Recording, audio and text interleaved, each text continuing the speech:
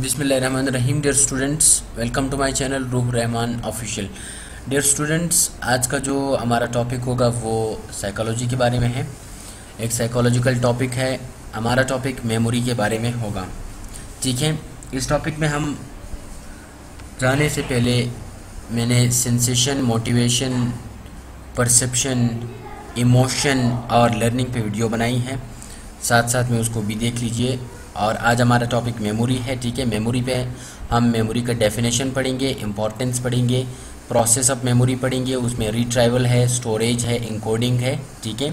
फिर इसके बाद हम स्टेजेस ऑफ़ मेमोरी पढ़ेंगे, कि मेमोरी के sensory memory short term long term ठीक है? फिर हम टाइप्स ऑफ़ मेमोरी पढ़ेंगे, जिसमें लॉन्ग टर्म मतलब लॉन्ग टर्म के कुछ काइंड्स है डिक्लेरेटिव है सीमेंटिक है नॉन डिक्लेरेटिव है एक्सप्लिसिट है इम्प्लिसिट है, दीगर जितने भी है, उन सबको हम पढ़ेंगे। तो चलो शुरू करते हैं डेफिनेशन से। सबसे पहले इसका डेफिनेशन है memory is the ability to take information memory एक ऐसा एबिलिटी है, एक ऐसा काबिलियत है टू टेक इन्फॉर्मेशन इन्फॉर्मेशन को कोई भी जब लेता है स्टोर इट स्टोर करता है and recall it at later time और बाद में स्टोर करने के बाद उसको बाद में रिकॉल करता है, वापस जब वो अपने आप को याद दिलाता है, इसको हम मेमोरी कहते हैं, ठीक है? ये मेमोरी का डेफिनेशन है। और दूसरा डेफिनेशन है memory is the mental capacity यानी एक एक मेंटल कैपेसिटी है टू स्टोर जो स्टोर करता है रिकॉल वापस याद दिलाता है और रिकग्नाइज या रिकग्नाइज करता है, पहचानता है द इवेंट्स वाक़ात को। दैट वर प्रीवियसली एक्सपीरियंस जो हमने पिछले जितने भी वाक़ात हैं, उनको जो हमारे तजर्बे से गुजर चुके, या हम तजर्बा कर चुके हैं, उन वाक़ात को। तो स्टोर करना रिकॉल करना और वापस याद दिलाना, इसको हम मेमोरी कहते हैं। अब इम्पोर्टेंस ऑफ़ मेमोरी क्या है? ठीक है? इम्पोर्टेंस ऑफ़ मेमोरी में क्या क्या आता है? ठीक है? Without memory we could not do anything हम मेमोरी के माँ सेवा हम कुछ भी नहीं कर सकते थे। Our memory is the library of our personal history हमारी जो मेमोरी है, वो हमारी पर्सनल हिस्ट्री की क्या थी? लाइब्रेरी होती है ठीक है हमारी जो पर्सनल हिस्ट्री हमारी जो किसी भी की बायोग्राफी उसमें आ सकती है मतलब उसकी जितने भी इवेंट्स है उसमें आ सकते हैं, एक पर्सनल हिस्ट्री है, ठीक है? Library of personal history memory labels us to do something and form a living record of what we have heard read and experienced over the period of our lives यानी memory हमें ये बताता है कि हमने ज़िंदगी में, यानी कितना चीज़ों को हेयर किया है, सुना है, पढ़ा है, उसको कितने चीज़ों को हमने एक्सपीरियंस किया है। ठीक है? Simply nothing is possible without memory यानी कि कुछ भी मेमोरी के माँ सिवा पॉसिबल भी नहीं है। ठीक है? इसको हम मेमोरी के इंपॉर्टेंस में डालेंगे। इसके बाद हमारे पास है process of memory Zimbardo Atkinson and Hilgard 1987 ये तीनों हैं। Explains that memory required three mental three mental process that are encoding storage and retrieval इन्होंने कहा कि मेमोरी के लिए तीन चीज़ों की ज़रूरत है, जो कि इंकोडिंग है स्टोरेज है और रिट्राइवल है। अब हम इनको एक एक कर पढ़ेंगे कि इंकोडिंग क्या है स्टोरेज क्या है और रिट्राइवल क्या है, ठीक है? Encoding to deposit something in memory is called encoding to deposit something किसी भी चीज़ को, बहुत आसान डेफिनेशन है, किसी भी चीज़ को मेमोरी में डिपॉजिट करना, जमा करना, इसको हम इंकोडिंग कहते हैं। It involve in inquiring information acquiring information and repeating it in the mind एक किस चीज़ पे मुश्तमिल होता है? इन्फॉर्मेशन को एक्वायर कर लेना, हासिल करना और उसको रिपीट करना दिमाग में। सही है अटेंशन क्या है? अब इनमें से खुद तीन चीज़ें। एक अटेंशन है it is the process in which we organize the raw material from journal दो चीज़ें होते हैं एक होते हैं स्पेसिफिक मटेरियल्स एक होते हैं जर्नल स्पेसिफिक जो हम हम उनको जब स्पेसिफिक करा देते तो वो स्पेसिफिक बन जाते हैं मतलब एक जनरल वो होते हैं जो ओवरऑल जब हम सारा दिन देखते हैं स्पेसिफिक वो होते हैं हम किसी स्पेसिफिक शख्स के साथ मिलते हैं in it we first attend to some stimuli stimulus पहले हम कुछ इन्फॉर्मेशन लेते हैं even from the huge amount बहुत से इन्फॉर्मेशन से and then we must identify और फिर हम उसकी वजाहत करते हैं, उसको आइडेंटिफाई करते हैं। The distinctive features of that experienced event उसके फीचर्स को बाद में बयां करते हैं। तो मतलब मेरा ये है, कुछ स्पेसिफिक होते हैं और कुछ क्या होते हैं जनरल होते हैं। तो जो जनरल और स्पेसिफिक को हम क्या करते हैं, उनको जब हम ऑर्गेनाइज करते हैं तो इसको हम क्या करते हैं? अटेंशन करते हैं, ठीक है? अटेंशन कहते हैं। From general to the specific automatic क्या। The process of encoding is so rapid ये बहुत तेज़ है। रैपिड का मतलब है तेज़ है।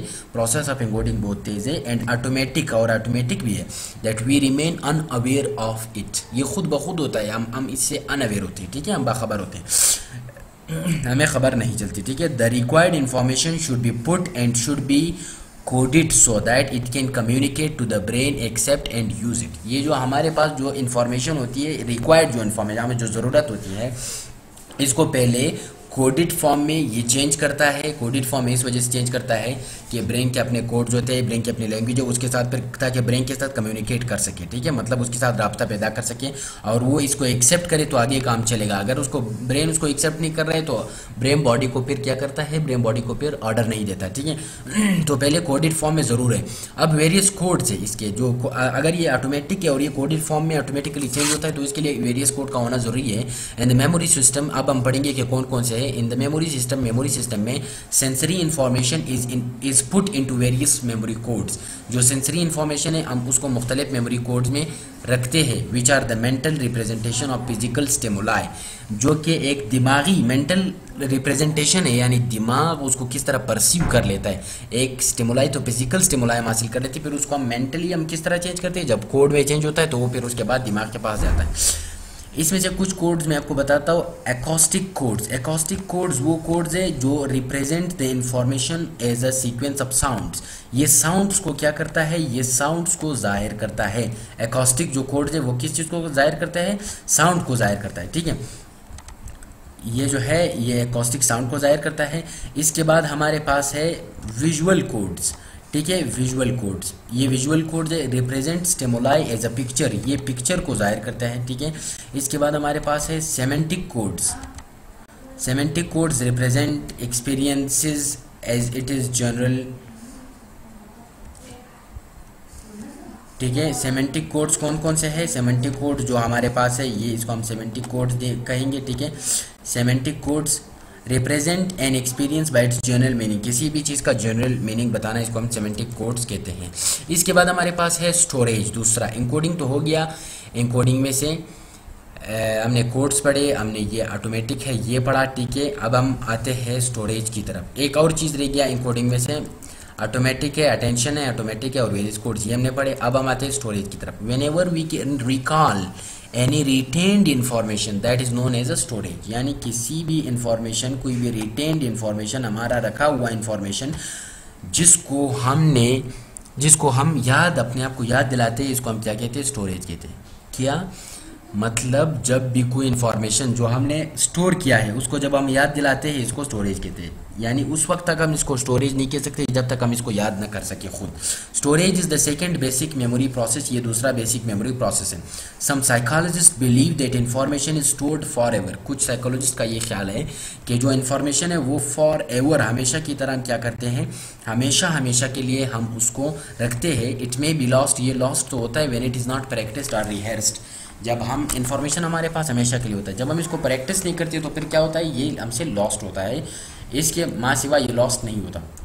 दूसरा चीज़ retrieval it means when we find any information that is stored and bring it into conscious consciousness storage तो हो गया। अब स्टोरेज से कोई भी इंफॉर्मेशन वापस उठाना रिटेन करना, जब आपने रखा हुआ है, उसको वापस उठाना, इसको हम रिट्राइवल कहते हैं। वापस इसको कॉन्शियस में लाना, इसको हम क्या कहते हैं? रेट ट्राइवल कहते हैं। It is effortless that is why it seems automatic ये एफर्टलेस है, खुद ब खुद आता है। हम इसमें ज़्यादा एफर्ट्स नहीं करते कभी कभी हो जाता है, मगर वो इतना नहीं है। इस वजह से ये ऑटोमेटिक देखता है। It is the third process ये तीसरा प्रोसेस है। Though it is the most important one of all ये सबसे इंपॉर्टेंट है। We cannot say that any one has remembered something unless he retrieves it हम ये नहीं कह सकते कि कोई भी शख्स, किसी भी शख्स ने कोई भी चीज़ रिमेंबर किया है। जब तक वो क्या करेगा, जब तक उसको वापस याद नहीं करेगा, ठीक है? तो हम तो बिल्कुल नहीं कह सकते। Ebbinghaus declared that four stages of retrieval retrieval के फोर स्टेजेस हैं। पहला रिकॉल है, वापस याद दिलाना रिकग्निशन उसको पहचानना रिकन्स्ट्रक्शन वापस उसको रिकन्स्ट्रक्ट करना एंड लर्निंग वापस उसको रीलर्न करना। इसके रिट्राइवल के वो है। रिट्राइवल के मतलब इसको हम रिट्राइवल के फोर स्टेजेस हम कहेंगे, ठीक है? अब हम नीचे आते हैं। एक टॉपिक हमारे पास हो गया दूसरा टॉपिक है स्टेजेस ऑफ़ मेमोरी सही है? स्टेजेस ऑफ़ मेमोरी में साइकोलॉजिस्ट कौन कौन से? है psychologist believe that there are three stages of memory memory के तीन स्टेजेस है। कितने स्टेजेस हैं मेमोरी के? मेमोरी के तीन स्टेजेस है। Of the memory which are the sensory memory जो कि सेंसरी मेमोरी है शॉर्ट टर्म है और लॉन्ग टर्म मेमोरी है। This was the first time suggested by Atkinson and Shiffrin in 1968 इन दोनों ने 1968 में इन तीन स्टेजेस ऑफ़ मेमोरी का जो है कंसेप्ट दिया, ठीक है? Sensory memory the sensory memory only preserve the fleeting the fleeting impression of the sensory stimuli यानी सेंसरी मेमोरी एक, किस चीज़ को सेव करता है? फ्लीटिंग इम्प्रेशन यानी एक अचानक जब आपके पास कोई भी इम्प्रेशन आता है, उसको सेव करता है। फ्लीटिंग का मतलब मतलब एक जाने वाला बहुत जल्दी जब वो जाता है तो आप उसको क्या करते हैं, उसको सेव कर लेते हो विच कैन इंक्लूड साइट आप किसी चीज़ को देखते हो, वो डायरेक्ट जाता है, इसको फ्लीटिंग इन्फॉर्मेशन कहते हैं इंप्रेशन साउंड है, आप आप सुनते हो, बस फिर ख़त्म हो जाता है स्मेल इसी तरह है और टेक्सचर इसी तरह ठीक है? In order to recognise the brain is in order to recognise इसको रिकोगनाइज करने के लिए, पहचानने के लिए the brain must analyse the incoming stimuli with a long term memory यानी लॉन्ग टर्म मेमोरी में जो भी रखा हुआ है ब्रेन दिमाग को चाहिए कि पहले उसके साथ एनालाइज करे, उसके साथ देखे, फिर उसके बाद ब्रेन इसको रिकोगनाइज करेगा। इससे पहले वो रिकोगनाइज नहीं कर सकता। Memories held in the sensory register are fleeting sensory register में, यानी सेंसरी मेमोरी में जो हम मेमोरीज रखते हैं, वो फ्लीटिंग है, बहुत जल्द गायब हो जाते हैं but they last long enough for stimulus identification to begin मगर उस वक्त तक ये रहते हैं, जब तक आप किसी भी स्टिमुलस को ऑर्गेनाइज रिकोगनाइज नहीं करते हो कि ये कौन सा है। अब अगर आप मोटरसाइकिल देखते हो, ये आपके सामने तो मोटरसाइकिल है, मगर आप इसको तब तक आप क्या कर सकते हो? आप इसको आइडेंटिफाई नहीं कर सकते हो, जब तक आपका, आप लॉन्ग टर्म मेमोरी के साथ रबता न करो। जब आप रबता करोगे, फिर वो आपको बताएगा कि ये मोटरसाइकिल है, फिर आपका सेंचुरी मेमोरी काम करेगा कि ये मोटरसाइकिल है, ठीक है? अब नीचे हम आएँगे। George Sperling reported that nine items could be record at once यानी एकदम हम कितने आइटम्स को, एक सवाल है ना कि हम कितने आइटम्स को रिकॉल कर सकते हैं? नाइन आइटम्स को, ठीक है? These were reported that only four items could be record उनमें से कुछ कहते हैं कि चार आइटम्स भी हम वापस रिकॉल कर सकते हैं। अच्छा एक तो हो गया सेंसरी मेमोरी दूसरे नंबर पे हमारे पास है short term memory short term memory कौन सी मेमोरी है? Short term memory is an intermediate process between the sensory memory and the long term memory. Long term memory और short और sensory memory के दरमियान एक बहुत एक अचानक एक तेज़ process है ठीक है Carpenter and Just 1989 described that the material transferred from sensory to STM यानी sensory से short term memory can be conscious यानी हम जब सेंसरी से शॉर्ट टर्म मेमोरी में वो इंफॉर्मेशन को भेजते हैं तो वो उसको कॉन्शियस मतलब हमें कॉन्शियस ज़रूर होना चाहिए। Short term memory also called the working memory इसको हम वर्किंग मेमोरी भी कहते हैं, ठीक है? When information is encoded in STM जब हम इन्फॉर्मेशन को एस में, यानी शॉर्ट टर्म मेमोरी में इंकोड करते हैं it is represented by it is represented by several codes ये मुख्तलिफ़ कोड्स इसको क्या करते हैं, इसको रिप्रेजेंट करते हैं। दैट मे बी एकॉस्टिक जिसमें मैंने बताया एकॉस्टिक साउंड के कोड्स विजुअल देखने वाले कोड्स और सेमेंटिक कोड्स इसमें मौजूद है, ठीक है? तो जब हम यहाँ पे इंफॉर्मेशन को क्या करते हैं शॉर्टर मेमोरी में रखते हैं तो इसको कौन रिप्रेजेंट करता है? इसको एकॉस्टिक विजुअल और सेमेंटिक कोड्स रिप्रेजेंट करता है। Storage capacity of short term memory short term memory की स्टोरेज कैपेसिटी कितनी है? Is called memory span short term memory की जो स्टोरेज कैपेसिटी है, इसको हम मेमोरी स्पेन भी कहते हैं। द एवरेज ड्यूरेशन में भी ट्वेंटी सेकेंड ये ट्वेंटी सेकेंड इसकी क्या है? स्टोरेज जो जो हमारी स्टोरेज ड्यूरेशन है, वो ट्वेंटी सेकेंड है। Long term memory long term memory is the storehouse of all the experienced events अब हम आते हैं लॉन्ग टर्म मेमोरी पे, कि लॉन्ग टर्म मेमोरी क्या है? हम इसको पढ़ते हैं ठीक है? Long term memory is the storehouse of all the experienced events यानी तमाम जो हमने एक्सपीरियंस किए हैं, उन इवेंट्स का एक स्टोर है। यानी पिछले जितने भी गुजरे हुए अदवार जितने भी इवेंट्स हैं, उनका एक स्टोर है। Information emotion skill words categories rules and judgement यानी इन तमाम चीज़ों का। इन्फॉर्मेशन का इमोशन का स्किल का वर्ड्स का कैटेगरीज का, जितने भी चीज़ें इन सब का क्या, इन सब का store house long term memory है।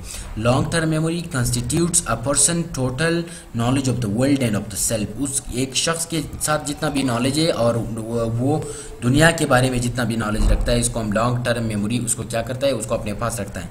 Material stored in L long term memory में help us to recognise the incoming stimuli आप जब किसी भी चीज़ को टच करते हो, इसको हम इनकमिंग स्टिमुलाई यानी आने वाला एक हम इसको स्टिमुलाई कहते हैं, इसको यानी जितने भी material stored in LTM long term memory में जितने भी हमने मटेरियल्स रखे हुए हैं, ये हमें किस चीज़ में को पहचानने में मदद देती है? इनकमिंग स्टिमुलाई आने वाला एक स्टिमुलाई ठीक है?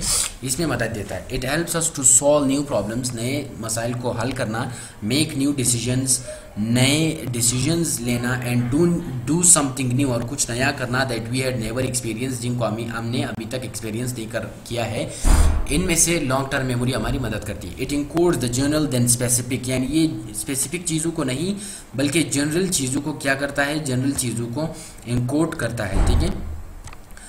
इवन इट सीम्स ऑटोमेटिक ये भी ऑटोमेटिक जैसा, ठीक है, हमें लगता है। The storage of the long term memory long term memory का जो स्टोरेज है इज़ एक्सट्रीमली लार्ज बहुत बड़ा है। Even it is impossible to measure measure यानी इसका जो स्टोरेज है, बहुत बड़ा है, ठीक है।